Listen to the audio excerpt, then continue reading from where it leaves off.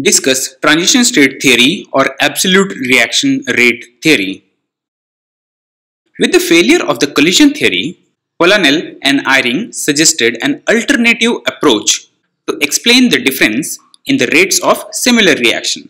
The theory is based on the following postulates. The reacting molecules with sufficient energy must approach each other and must pass on an energy barrier. The energy barrier is an unstable intermediate state where an activated complex is formed which is having higher energy than the reactant and products.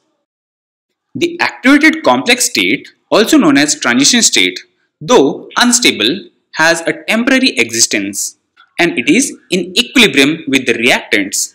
At this transition state, the reacting molecules are loosely held and rearrangement of valency bonds and energy takes place. And the rate of reaction is given by the rate of decomposition of the activated complex and it finally gives the product. So, reactant A combines with B producing X star. It is an activated complex which further decomposes to produce product which are C and D.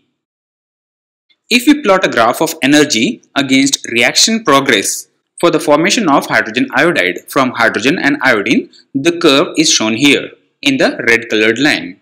So initially there are reactants like hydrogen and iodine.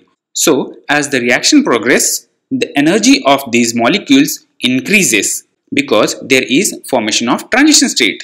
In transition states, both the hydrogen atoms and both iodine atoms, they are all associated to make a transition state. And this high energy state is the energy barrier which reactant has to cross.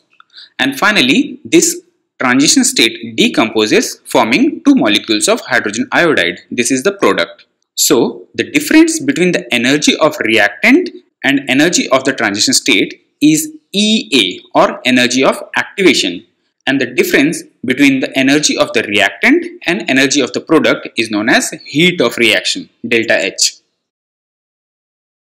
Now applying statistical thermodynamics to this idea Eyring derived an expression for the specific rate of reaction which is given below. So reactant A combines with B producing activated complex X star which decomposes to produce product C and D. The rate constant K for the reaction is given by equation K is equals to RT divided by NH into K star. This is equation number 1 where R is the gas constant, T is the absolute temperature, N is the Avogadro's number, H is Planck's constant and K star is the equilibrium constant for the formation of activated complex from the reactant. The relation between free energy change and equilibrium constant is given by delta G star is equals to minus RT ln K star. Therefore, ln K star can be written as minus delta G star divided by RT. On taking antilog, K star becomes E power to minus delta G star divided by RT. This is equation number 2.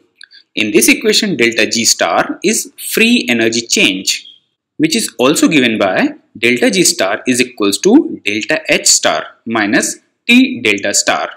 So let's substitute the value of delta G star in equation number 2. We get K star is equals to E power to minus delta H star minus T delta S star divided by RT. Let's take negative sign inside. So K star becomes E power to T delta S star minus delta H star divided by RT. Now let's expand this. So K star becomes E power to T delta S star divided by RT minus delta H star divided by RT. So TT gets cancelled and K star becomes E power to delta S star divided by R minus delta H star divided by RT. Or we can write the same equation as K star is equals to E power to delta S star divided by R into E power to minus delta H star divided by RT. This is equation number 3. In this equation, delta H star and delta S star are the enthalpy change and entropy change of the activated complex. So now, substituting the value of K star in the first equation, we get small k is equals to RT by NH E power to delta S star divided by R into E power to minus delta H star divided by RT. Or the same equation can be written as K is equals to RT divided by NH E power to delta S star divided by R into E power to minus delta H star divided by RT. This is equation number 4. This equation is similar to Arrhenius equation as K is equals to A into E power to minus EA by RT. So we can equate two factors like A is equals to RT by NH E power to delta S star divided by R. This is equation number 5 where RT by NH is constant at a definite temperature and is independent of the nature of the reactant and product involved in the reaction. Similarly, we can also equate the other factor that is E power to minus EA by RT must be equals to E power to minus delta H star divided by RT. This on simplification can give EA is equals to delta H star. This is equation number 6. So energy of activation is equals to enthalpy change. Equation 4 is the actual equation for the transition state theory which on taking natural log gives ln k is equals to ln of RT by NH plus delta S star divided by R minus delta H star divided by RT. And this is the fundamental equation for the theory. If you like this video, please click on the like button and also subscribe to my channel.